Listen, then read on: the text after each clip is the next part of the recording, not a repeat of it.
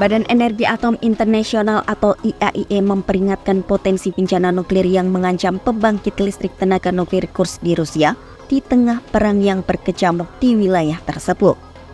Hal ini lantaran PLTN Kurs itu tidak memiliki kubah pelindung yang dapat melindunginya dari rudal pesawat tak berawak dan artileri.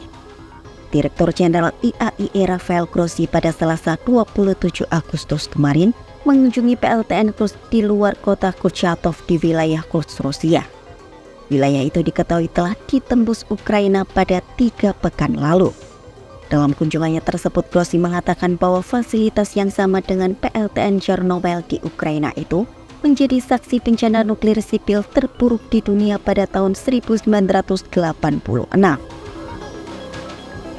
Core of the reactor containing nuclear material uh, is protected just by a normal roof.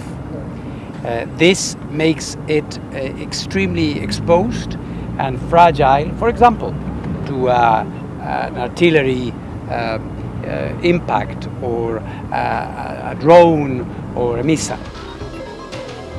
Sebelumnya Presiden Rusia Vladimir Putin menuduh Ukraina pada pekan lalu mencoba menyerang PLTN Kursk. Противник пытался сегодня наносить э, ночью удары по атомной электростанции. Международное агентство по атомной энергии проинформировано. Они обещают прислать, сами приехать, прислать специалистов для оценки ситуации. Надеюсь, что в конце концов это будет с их стороны сделано.